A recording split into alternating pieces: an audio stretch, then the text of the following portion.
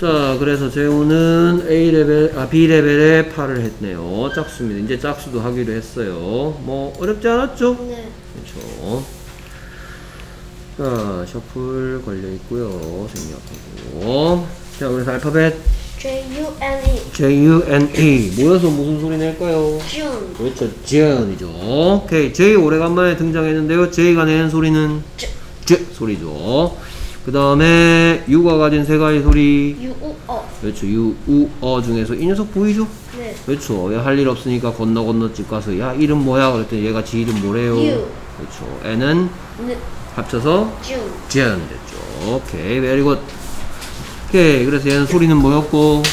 June. June 쓰는 법. J U N E. 그렇죠. J, U, N, E. 선생님은 J를 이렇게 써요. 좀더 멋있게 보이려고. 뭐, 그건 뭐 자기 쓰는 방법 자기마다 다르겠죠.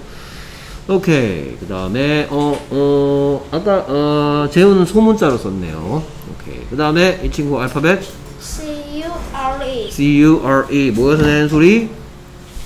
Cure. 그렇죠. cure죠, cure. C 때문에 좀 고민했죠? C가 가진 소리 뭔데? 그렇죠. 스. 근데 여기서 뭐가 됐어요? 크. 저 U는 똑같이 U. R은. 합치니까 Cure. cure.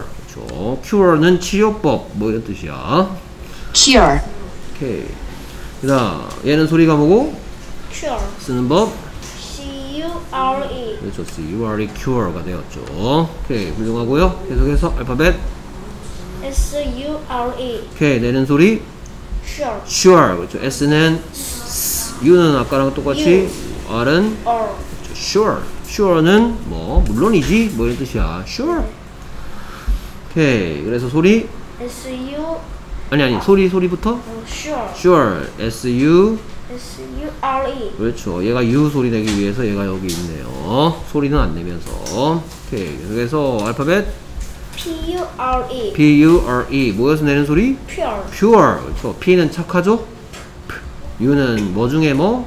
U U O G U. 그렇죠. 이 친구 때문에 U 됐고요. R은 R. 합쳐서 Pure. pure. 그렇죠. pure는 순수한 이런 뜻이야. 좀 뜻이 어렵나요? 오케이. 그래서 소리 Pure. pure 쓰는 법. P U R E. 그렇죠. 오케이. 오늘 복화 수업 처음 해보고 있는데 어렵지 않나요? 네. 할만해요? 네.